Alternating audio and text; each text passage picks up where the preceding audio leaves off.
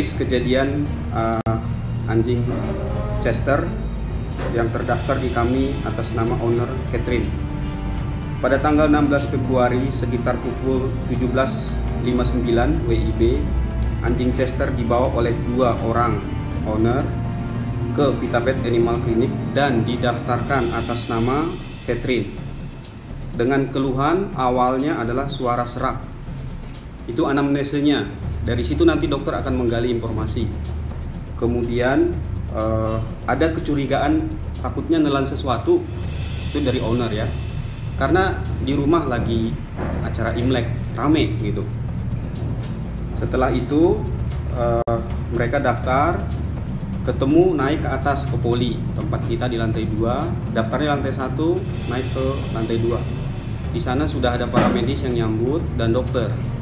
Jadi kita melakukan pemeriksaan prosedur pemeriksaan untuk hewan adalah Pertama, kita lakukan pengukuran berat badan. Kemudian kedua, kita melakukan pemeriksaan suhu. Jadi dokter itu action. Kalau dibilang nggak action salah juga gitu, dibiarin itu itu nggak benar. Dokternya action, dokternya lakukan pengukuran, kemudian dilakukan pemeriksaan klinis pada hewan. Apa itu pemeriksaan klinis? Pertama, dia cek suhu. Setelah itu, dia cek jantung. Setelah itu, dia cek membran mukos setelah itu dia cek nafas. Setelah itu dilakukan palpasi ke trakea karena ada dugaan takutnya nelan sesuatu. Karena keluhan awal itu suaranya serak bukan panas ya. Lalu dari hasil pemeriksaan itu ditemukanlah suhu 39,7 itu betul. Yang kedua denyut jantung masih terdengar normal tidak painting tidak ngos-ngosan begitu bukan Lalu membran mukosanya pink, rose, bukan kemerahan, pink. Kemudian dilakukan palpasi di daerah trakea karena ada kecurigaan. Di situ tuh tidak ada refleks batuk atau muntah pada hewan. Kemudian dokternya melakukan action buka mulut, apakah ada nyangkut sesuatu? Tidak ada. Tidak ada ditemukan seperti itu. Jadi untuk sementara pemeriksaan dokter atas dugaan suara serak dan atas dugaan mungkin ada makan benda asing itu tidak ada. Oleh sebab itu kami sebagai dokter butuh uh, semacam kayak menerangkan ke pemilik bahwa kemungkinan-kemungkinan ini banyak karena kalau pemeriksaan fisiknya nggak ada.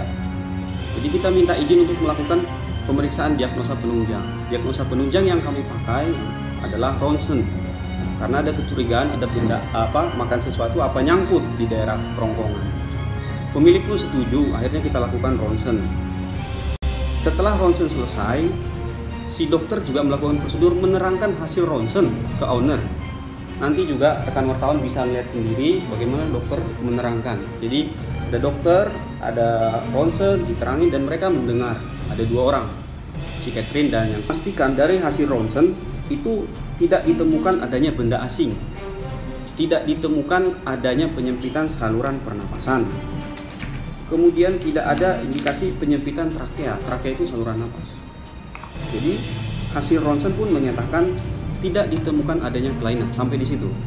Dokter menyarankan pengobatan atau treatment yang bisa dilakukan adalah satu kalau memang hanya ini permasalahannya masih bisa diambil opsi seperti coba dikasih air minum yang banyak saja itu bisa menurunkan suhu bisa dicampur dengan madu air madu ditempatkan te ke tempat ruangan yang sejuk observasi. Karena perkembangan penyakit kan nggak tahu cepat sekali juga bisa.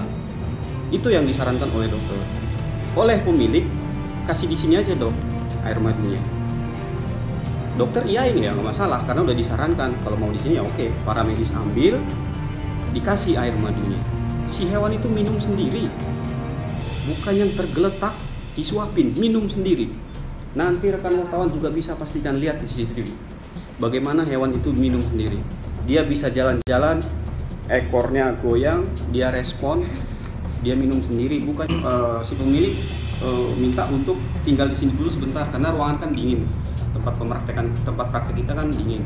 Ya, dokter yang menangani pun mengiyakan. Silahkan di sini dulu sampai lebih stabil, baru nanti pulang. Sampai pada jam 16.30 Chester sudah pulang. Dari klinik dalam kondisi sudah stabil. Artinya dia bisa jalan sendiri digendong pun enggak jadi hewan tuh turun gitu jalan sendiri gitu loh. Jadi bukan yang tergeletak digendong segala macam dipaksa pulang tidak